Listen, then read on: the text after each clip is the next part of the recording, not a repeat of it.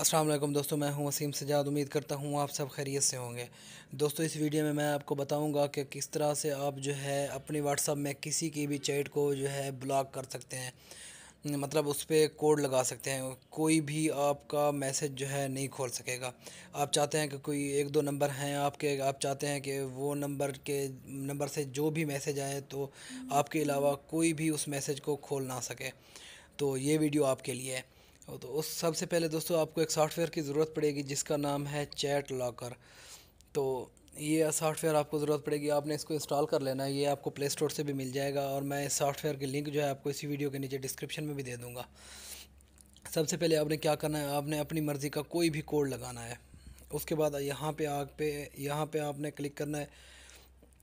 तो उसके बाद जो कर एक मिनट मैं यहाँ पे इसकी सेटिंग जो है वो कर लूँ। तो दोस्तों, यहाँ पे आपने प्लस पे क्लिक करना है। प्लस पे क्लिक करने के बाद ऊपर ऊपर ऑप्शन आएगा व्हाट्सअप का, आपने उस पर क्लिक करना है। मैंने एक नंबर पहले ऐड किया हुआ है, मैं दूसरा नंबर जो है वो भी ऐड कर लेता हूँ। यहाँ पे दो नंबर मेरे पास ऐड हो गए।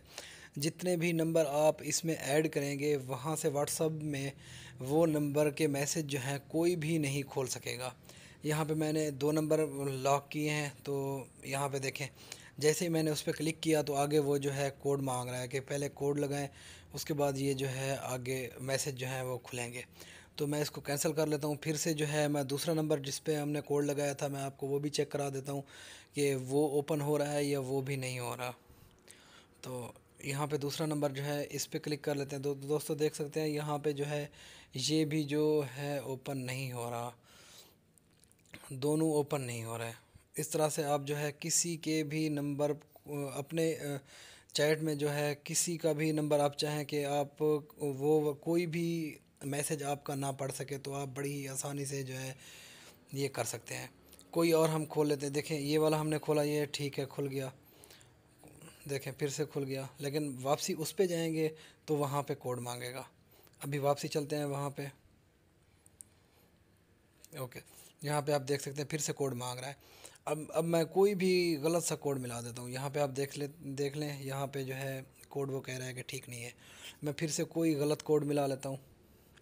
जो हमने लगाया है, वो वाला नहीं लगाना। अब मैं ठीक कोड लगा लेता हूँ जो हमने लगाया है। तो देखें, यहाँ पे जो जो है एक्टिव हो गया, ऑन हो गया। ओके दोस्तों, उम्मीद करता हूँ आपको वीडियो पसंद आई होगी। अगर वीडियो पसंद आई तो लाइक ज़रूर कर दें।